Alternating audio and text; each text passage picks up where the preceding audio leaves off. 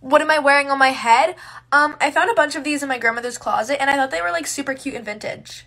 Did you know in the 20s they used to listen to music with these things? Yeah, isn't it cool? Didn't even know. Oh, I'm listening to Doja Cat. You don't know who Doja Cat is? I hate this generation. I was born in the wrong generation. No one understands me. Look at these new lights I got. They're like super vintage. Everyone in the 20s had them. It's not fair. I hate school. I wish we were in a global pandemic. Did you know the kids in the 20s got to like skip school for two whole years? Look how many more headbands I found in my grandmother's closet. My presentation about the 20s is on an app called TikTok. So, TikTok was very popular during the 20s, and there was this girl, Charlie D'Amelio. She was basically the icon of the entire